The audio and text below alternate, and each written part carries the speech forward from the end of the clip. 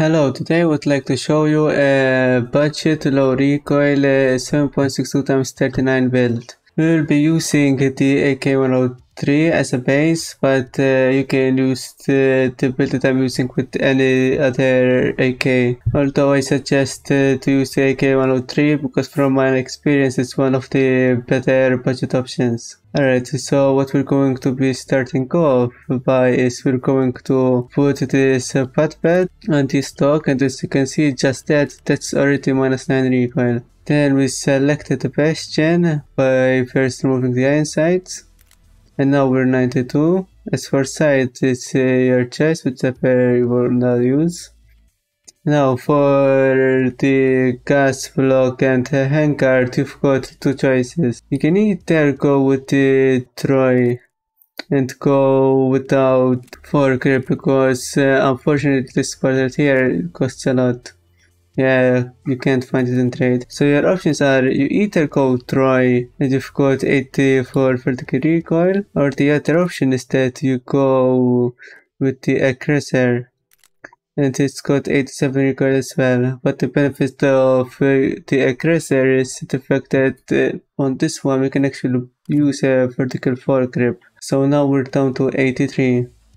Alright, what you have to do next, it's just the muzzle. I recommend that you forget uh, using any suppressors on 7.2 times 39 because honestly the suppressors are all uh, really bad. Look at this, uh, like this one actually increases recoil. But what I would recommend to, to use is the RRD 4C which would bring down our vertical recoil down to 67. If you haven't got it unlocked uh, and you want to buy it from the flea market, it's uh, relatively expensive, like it's 30k. So instead some budget options could be SRPV AKM, which is uh, like just 5 uh, more recoil, but at least it's uh, relatively cheap. Alright, so as you can see, we've got uh, 59 ergonomics. This allows us to use whichever magazine we want. If you want, you can even use the large 95 rounders magazines. Actually, this is 75, my bad. But you know, 36 recoil for a 75 rounder, 7.62 times 39 is actually not bad like it's usable but if you want to go high ergo and 30 rounders then what I would recommend you to use is to use the Ultimag as it's uh, relatively cheap it's only like 2.5k per magazine and uh, you got uh, an extra one ergonomics from the base.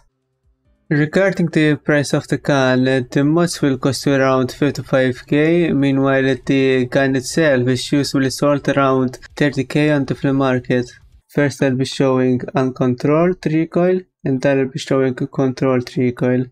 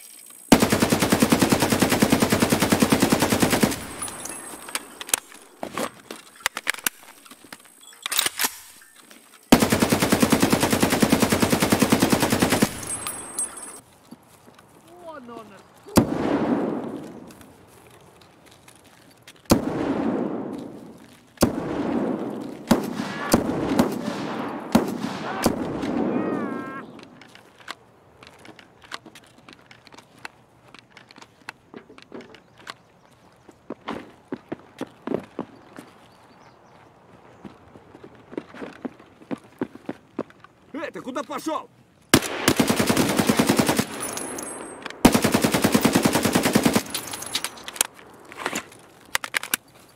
Пиздец вам мраки ебаные!